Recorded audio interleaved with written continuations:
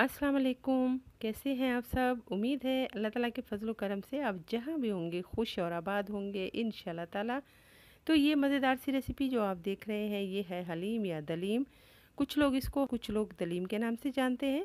बहुत ही मज़ेदार रेसिपी है, बहुत ही खाने में मज़ेदार लगती है और बहुत ही आसान तरीके से आप घर पर बना सकते हैं। बस थोड़े से स्टेप्स हैं जो आपने फॉलो करना है। और फिर आप ये मज़ेदार हलीम अपने घर पर बना सकते हैं।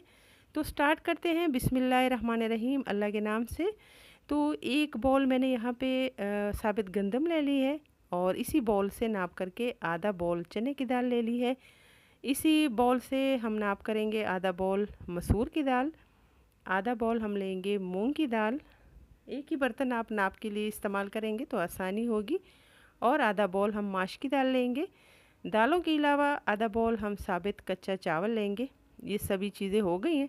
अब इनको अच्छे से पहले इसी स्ट्रेनर के अंदर वॉश करके पानी निकाल लेंगे, साफ़ सुथरा कर लेंगे और फिर भिगो कर सारी रात के लिए पानी में रख देंगे। आप सात से आठ घंटों के लिए भी रख सकते हैं, लेकिन मैं सारी रात के लिए रख रही हूँ और फिर सुबह में इन सभी दालों को और सभी चीज़ों को बॉयल करके सॉफ्ट करके तैयार कर लेंगे हलीम के लिए। और ये हम बाद में इस्तेमाल करेंगे, लेकिन हमारा पहला स्टेप ये बहुत ज़रूरी है, ये कंप्लीट हो गया है।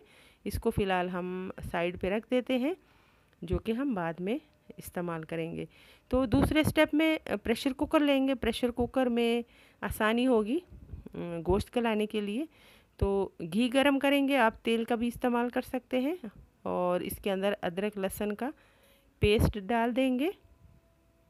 अदरक लहसुन के पेस्ट को बहुत ज़्यादा हमने फ्राई नहीं करना है, क्योंकि अदरक लहसुन का पेस्ट बहुत जल्दी कलर भी पकड़ लेता है और जल भी जाता है। तो बहुत ही एहतियात से थोड़ा सा बस सोते करना है।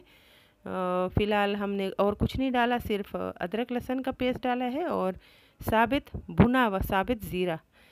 तो इन दोनों चीज़ों को आपस में थोड़ा सा सोते कर लेंगे और फिर गोश्त डाल देंगे। तो अदरक लहसुन के साथ और ज़ीरे के साथ गोश्त को थोड़ा सा चंद मिनटों के लिए भून लेंगे ताकि गोश्त का कलर चेंज हो जाए। और फिर इसके अंदर हम सभी बेसक मसाले एक साथ डालेंगे। बेसक मसाले से मुराद, जो घर में हम हर सालन में रोज़ाना मसाले डालते हैं, फ़िलहाल हम वही मसाले डालेंगे। तो कुटी भी लाल मिर्च पिसी भी लाल मिर्च, ये दोनों इसके अंदर जाएँगे हलीम के अंदर, पिसी हुई भी और कुटी हुई भी। इसके साथ ही हल्दी भी इस्तेमाल करेंगे।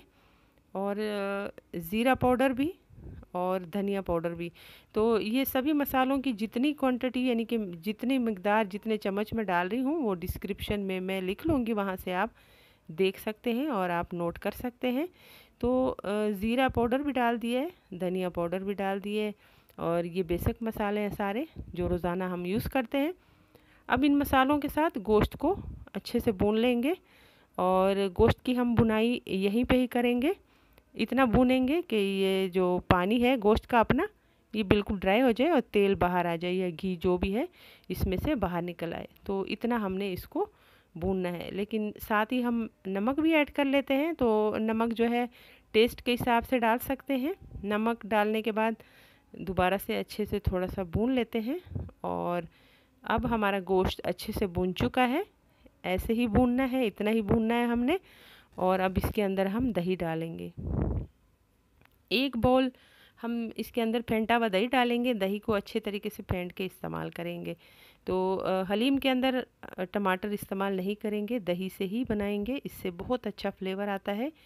और अब दही के साथ इस गोश्त को तब तक हमने भूनना है जब तक दही का जो एक्स्ट्रा पानी है, वो खुश्क ना हो जाए।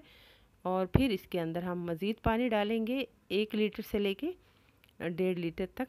ये आपके ऊपर डिपेंड करता है कि कितने टाइम में गोश्त जो है वो आपका नरम होता है, क्योंकि हमने इसके अंदर थोड़ी सी तरी भी रखनी है और गोश्त भी गलाना है। तब तक हमारा गोश्त गलता है। जब तक हम हलीम का स्पेशल मसाला रेडी कर लेते हैं तो स्पेशल मसाले के लिए ज़ीरा डालेंगे साबित भुना हुआ और ये जायफल है, आधा जायफल हम डालेंगे, पूरे जायफल का आधा डालेंगे, और दारचीनी साबित है। ये डालेंगे। ये है बड़ी वाली इलायची दो अदद। ये है जावत्री और लौंग और काली मिर्च भी डालेंगे। साबित काली मिर्च पंद्रह से बीस अदद। तो सभी आ, मसालों की जो मकदार है वो मैं डिस्क्रिप्शन में लिख लूँगी वहाँ से आप नोट कर लें। यहाँ पे हमारा गोश्त अच्छे से गल चुका है। बिल्कुल इसी तरीके से हमें गोश्त चाहिए हलीम के लिए जो मामूल से हट के थोड़ा नरम हो। अब ये गोश्त के अंदर जो तरी है वो हम अलग कर लेंगे जो हम बाद में हलीम में इस्तेमाल करेंगे। साथ साथ मैं बताती जाऊँगी लेकिन तल, तरी जो है निकाल कर फ़िलहाल साइड पे रख देंगे। तो ये हमारा दूसरा स्टेप भी कंप्लीट हो गया दालें भी हमारी कंप्लीट है गोश्त भी यानी कि कौरमा भी हमारा रेडी है। अब तरी निकालने के बाद हमारा आखिरी मरहला होगा।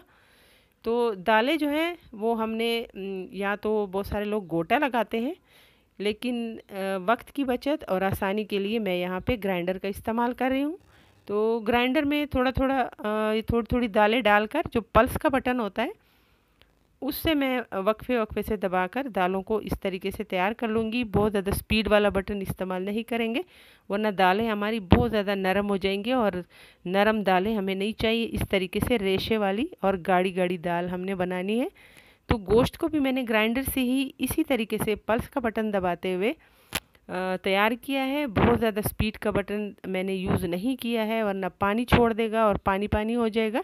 तो हमने मज़ेदार सी रेशे वाली गाड़ी से हलीम तैयार करनी है। तो ये दालें हमारी जो रेडी हो गई हैं, जो मैंने ग्राइंडर से तैयार की हैं और जो गोश्त है, इन दोनों को हम मिक्स कर लेंगे और अब जो है हमारी हलीम बिल्कुल तैयार होने वाली है। आखिरी स्टेज पे है।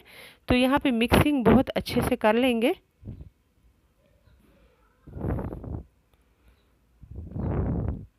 जो हमने साबित मसालों का, हलीम का स्पेशल मसाला रेडी किया है पीस कर हमने रेडी किया था तो वो अब इस स्टेज पे मिक्सिंग के बाद हम शामिल कर लेंगे।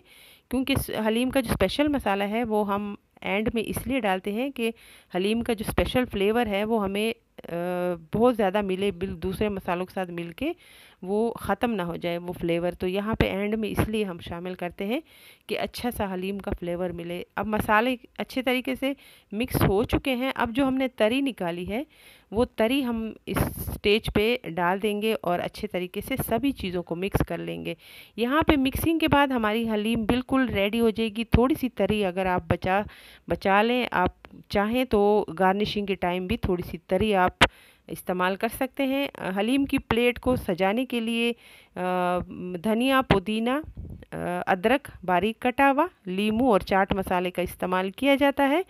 तो हलीम हमारी बिल्कुल रेडी है और बहुत ही आसान तरीके से कुछ स्टेप मैंने आपको बताए हैं। आप इसको फॉलो कीजिए और बिल्कुल मज़ेदार हलीम अपने घर पे बनाइए।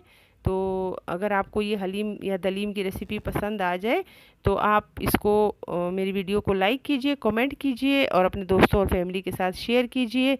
और मेरे चैनल को अगर सब्सक्राइब नहीं किया तो प्लीज़ सब्सक्राइब कीजिए। देखने के लिए बहुत शुक्रिया। अल्लाह हाफिज़।